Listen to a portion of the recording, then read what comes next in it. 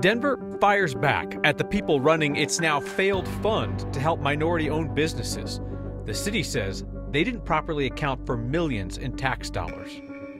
Three years after the King Super shooting, families are frustrated the case against the suspect is still stalled. Ken Buck quit Congress today, and another Republican decided to do it along with him. Bike shop owners aren't happy about the state's new e bike rebates because they get stuck paying the bill for them for more than a year. And superior insight from the students of Superior Elementary. Sometimes um, our life is full of bad news, and hearing other people's good news and maybe can um, help you find your good news. I agree. So let's do it tonight on Next.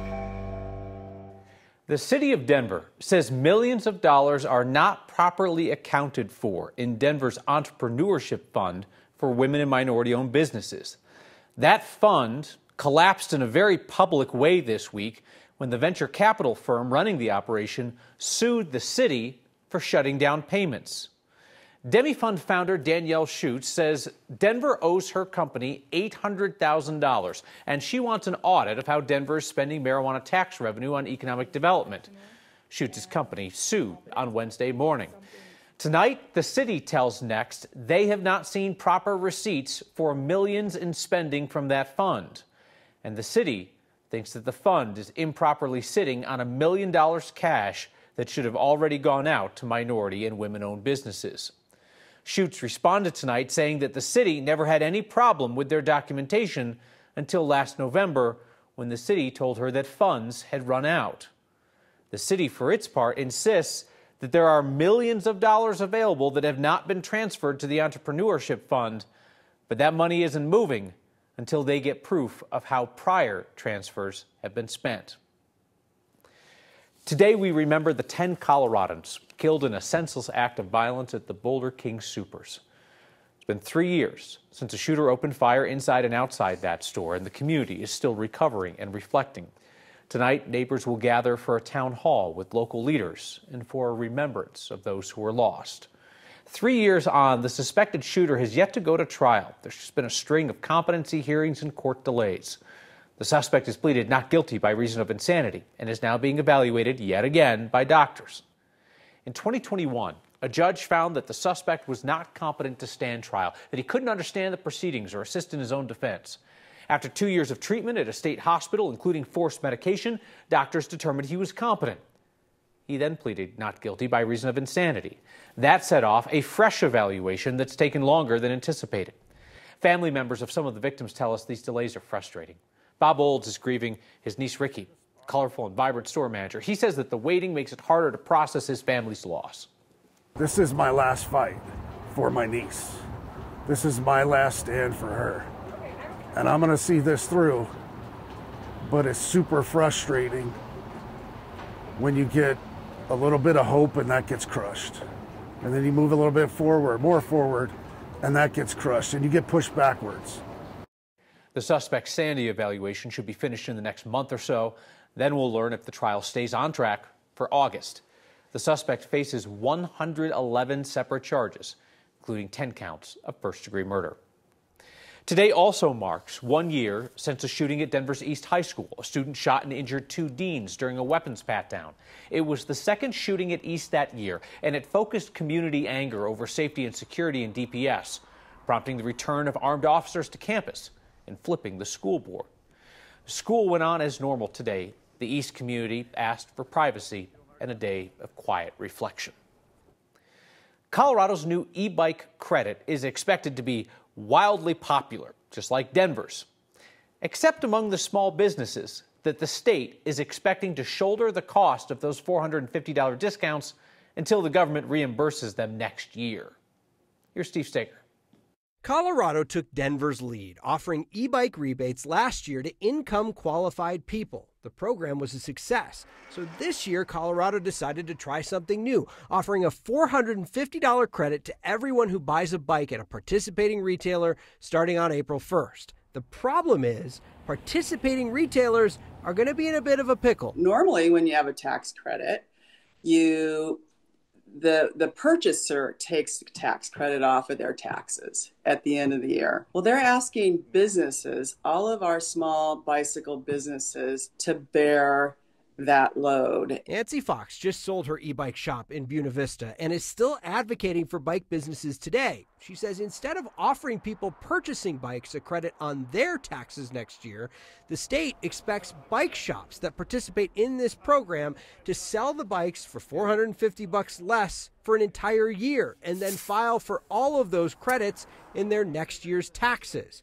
essentially making them wait over a year to get paid back and limiting their income margins on the bikes that people are most likely purchasing are between four and four hundred and fifty dollars, maybe if we're lucky. On the website for the state's energy office, they acknowledge this quote may present a hardship for bike shops and suggest loan programs to get those businesses through the year. Most of us are in debt anyway, especially when we start the season, um, because we have hundreds of thousands of dollars tied up in inventory. Nancy says opting out of a program that slashes prices on popular bikes will just turn customers away. There's so much competition that if they don't take it, they'll be out of business. It just upsets me that our government, who is supposedly business for business, is hurting a huge representation of small business in Colorado.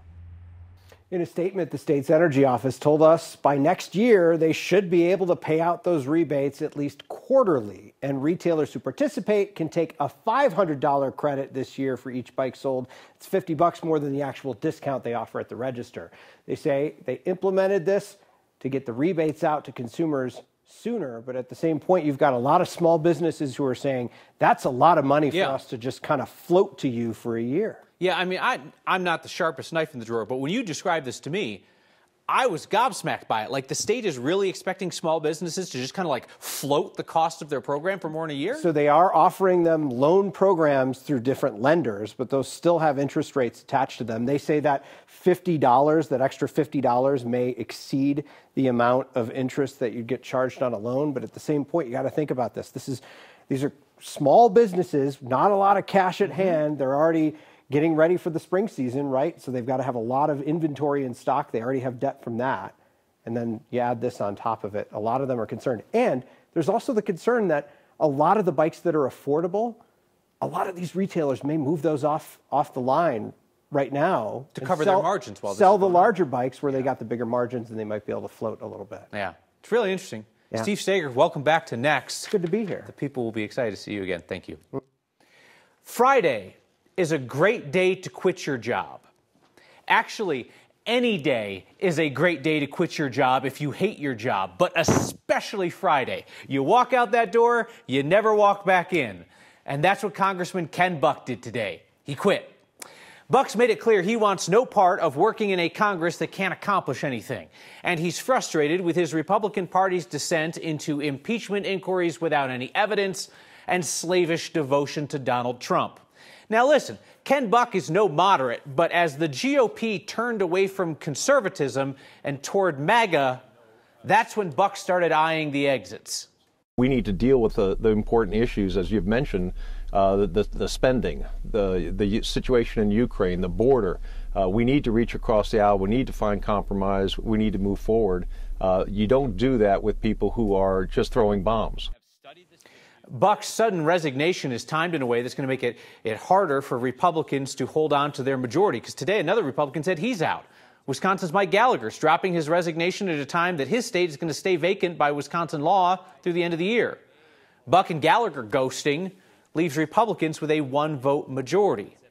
And that razor thin majority is one thing that is keeping Congresswoman Lauren Boebert out of the special election to fill Buck's seat through the end of the year. This gets a little complicated, but you can follow this. So, if Boebert were to win the special election at the end of June, she would have to vacate her current seat, and that would shrink the GOP majority even more. So now, Boebert has to convince Republican primary voters to vote for her after they have voted for another Republican, somebody else, in the special election on the same day, June 25th. This week, Next viewers are helping asylum seekers in our community who have some of the strongest cases that they have fled credible violence in their home country and they should be able to stay here in the U.S. Families being assisted by a small nonprofit that works with immigration attorneys to find those strongest cases for asylum and surrounds those families with the support that they'll need to succeed. They have a 100% success rate in getting asylum, when most cases are rejected. Since Wednesday, you've raised more than $10,000 to support the Colorado Hosting Asylum Network. Chan helps asylum seekers and their families build stable lives, especially in the first six months when they can't legally work because they're waiting on federal work permits. The nonprofit connects them with volunteers willing to share their homes, or for larger families, Chan helps with the cost of rent. Often these are not families from Venezuela. That's who we've seen most often in town lately, but it tends to be families from Afghanistan or various places in Africa, sometimes Central and South America.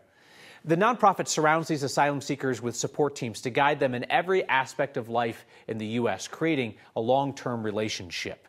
And each case referred by an attorney who thinks that they're a lock for asylum. They keep families from falling out of compliance with the very strict rules. That's one reason why these cases succeed. And they can expand their program with what we raised tonight. So scan that QR code on your screen or text the word thanks to 303 871 1491 to get that link to donate. And before we step away, like us all just pause and take a moment to remember the 10 lives lost in Boulder on this day three years ago.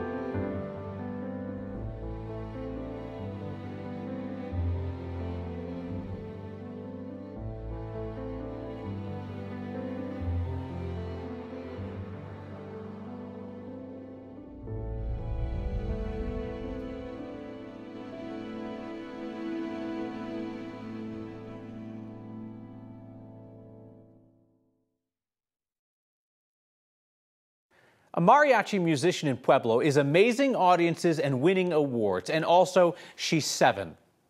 Brian Wendland has her story. In a house bursting with music, ready to rock and roll, Phoenix? Let's Phoenix Benavides rises. With her violin and her voice. Do you remember the first song you ever sang? These songs come naturally to Phoenix. My whole life can be mariachi. I love mariachi. And that's music to her parents' ears. We've been around Mexican folk music for a long time. As well as me playing music, we've been involved with folk dancing. Dad David Benavides plays the trumpet. Mom Kayla strums the vihuela. We would uh, play the music for her when I was pregnant with her and after she was born. Supporting Phoenix as she begins to rack up recognition. And this one is Child Artist of the Year. This one is one of my favorites Children's Instrumental Song of the Year. And I was the first one to get it. The awards are great, but this family is most proud of Phoenix carrying on a centuries old tradition. I was the American that the country converted my family to. And I didn't know the history there. His daughter is immersed in that history through music. And for me, there's nothing more rich. It is, it, it goes that deep. So I always heard the music, danced to the music for all, for all my life since I was four. Four is the age Phoenix started playing. Yeah, ah. this was the the first gig that she came out with us. The tiniest mariachi. Yes. Tiny but tenacious. Phoenix is learning new instruments. It's a vihuela. And teaching the newest Benavides the ropes. Maybe when she's two, she might learn and go in the professional. Might be exciting. Her mariachi career is just getting started, but Phoenix is ready for what's next. I feel excited for what's going to come up to me in the future. Un, dos, tres. Un, dos, tres. A future surrounded by friends and family playing her favorite songs. Beautiful music. For next, I'm doing good on that one. I'm Brian Wendland. That's amazing. Phoenix and her mariachi Diamante will be up here next month playing MSU Denver's Viva Southwest Mariachi Festival. Crispy Donkey, I love that. That just makes you smile.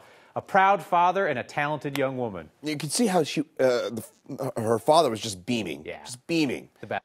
Oh, amazing. But meantime, today, temperatures 60s, 70s for us on the eastern plains. I should say 50s, 60s for us on the eastern plains. About 5, 10 degrees cooler than this time yesterday, 40s, 50s for us into the high country for those highs. Tomorrow, one more warm day before, well, we see some changes. It does turn a little breezy tomorrow afternoon. Clouds will increase, but this is the main story. Sunday, we see some showers.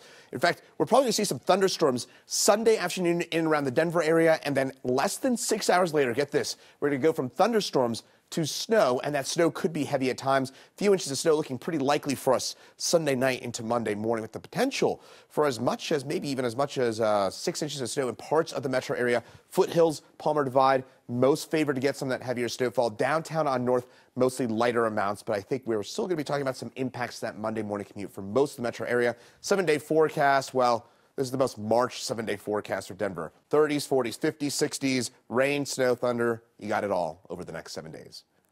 It like shows that not everything is sad, and you can. Uh, uh, a lot of people can be happy. Yes, yes, yes. Normalize seeing happiness on the local TV news, not just the worst crap every day. Your good news is next. We share our Friday good news tradition with a certain fourth grade class at Superior Elementary. They like to do the same. So let's go to Allison Carpenter's classroom.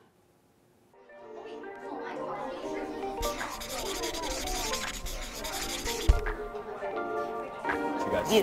Uh, you should no, you know. My good news is I'm going skiing with a friend uh, during spring break. I'm excited to go spend some time with my friends. My grandma is coming over to see me. In two months, I'm going back to China to see my grandparents. My good news is that in a few days I get to see my uncle and grandparents. My good news is I'm gonna watch uh, March Madness. I'm gonna watch um, March Madness. I get to watch March Madness with my family. I get to watch the Wisconsin Badgers play in March Madness. Have fun with my friends, family, and watch March Madness with my family. I'm gonna see a basketball game with my dad. I get to watch a movie over the weekend. My good news is this weekend I should be able to scrimmage with some other teams playing baseball. I worked really hard on my test and I got a really good score. That a spring break is going to be happening. I would say my good news is that I found out that my friend's coming back from Georgia this summer. I'm gonna go skiing and I'm gonna go to Moab. On Sunday, I get to go camping with my mom and dad. I'll be getting a new house.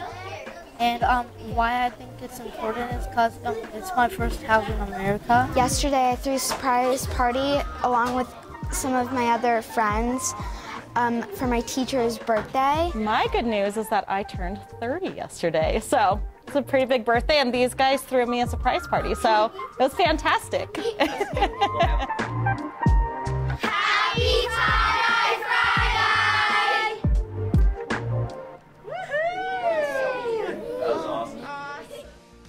It's impossible not to smile, right?